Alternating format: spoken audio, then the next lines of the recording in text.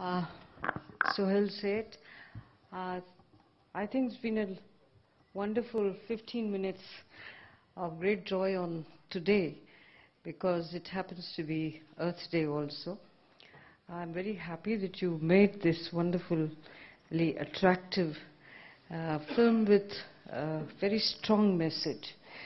So thank you very much for doing this. And I do hope that uh, we have about 3,000 uh, children's eco clubs. So if we can distribute this, not at your cost, at our cost, to all the school children, I think it'll be a great step forward. Thank you once again. Mm.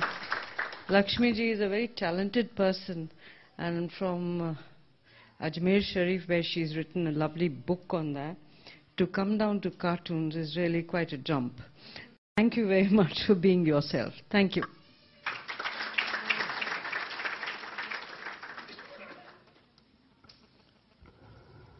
Uh, I just second what Mrs. Dixit said, and you know, you were right in raising the, the issue of what is happening to, to the planet.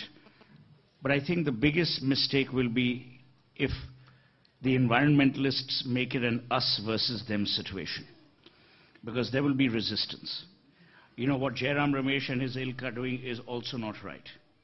It's not about Jaitapur, it's not about POSCO, it's not about any of those. I think if people in this country are made to believe that their own future is insecure, their own livelihood, their own you know, existence on this planet is going to be weakened, then there will be an awakening. A. B.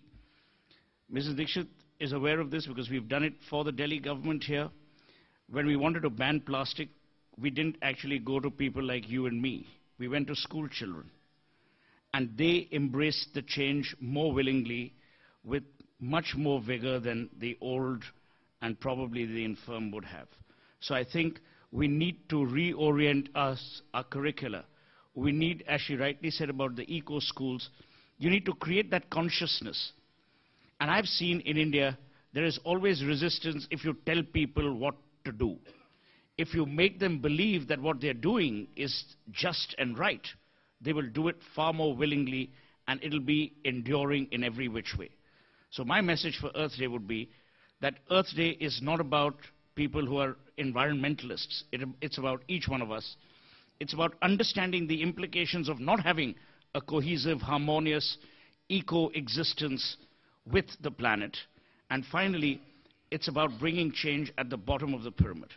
It's not about the poor or rich. It's not about corporates versus politicians. And it certainly isn't about an us versus them. We all stand to gain. And if we don't, we shall all perish. Thank you.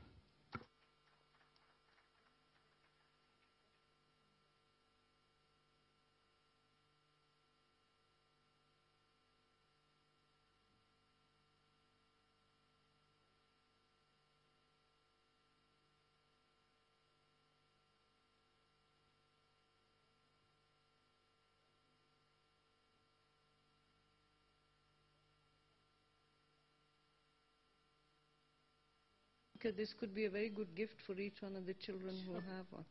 Great, thank you.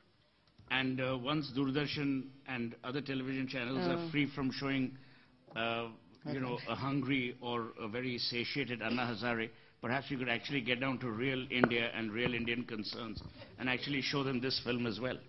It won't be as salacious or as TRP driven, but surely Arnab and Rajdeep and Barkha will agree. Thank you, everybody, for being here this evening. It's been uh, uh, very special for me to have you with us this evening. Thank you so much. The evening doesn't finish now. We have a concert at the amphitheater, which is just across the courtyard, where we have a group called the Green Ragas. And they have fusion music, quite interesting.